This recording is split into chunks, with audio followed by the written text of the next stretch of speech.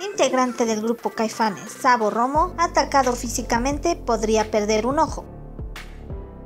Y es que Sabo Romo, integrante del grupo Caifanes, fue fuertemente atacado en la Ciudad de México, por lo que tuvo que ser sometido a una cirugía. Sin embargo, aún corre el riesgo de perder el ojo. Los hechos ocurrieron en los últimos días de enero en la Ciudad de México, cuando un hombre intentó atacar al músico mexicano Sabo Romo en un desenfrenado ataque de ira.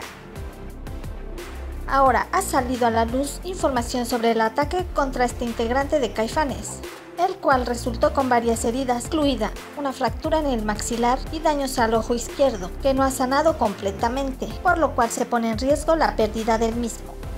Ahora, de acuerdo a reportes de la Fiscalía General de Justicia de la Ciudad de México, se informó que ya fue detenido el atacante del integrante de Caifanes, de nombre Humberto N., el cual discutió con el bajista de Caifanes en un cruce peatonal. En el momento se reportó que el presunto agresor huyó del lugar después de la golpiza que le propinó a Sabo. Ahora, casi un mes después del incidente, Humberto N. fue arrestado en un centro comercial de la Ciudad de México. Hasta el momento se sabe que Sabo Romo estaría lejos de los escenarios debido a este percance. Sus seguidores esperan que pronto se recupere y se haga justicia para el integrante de Caifanes.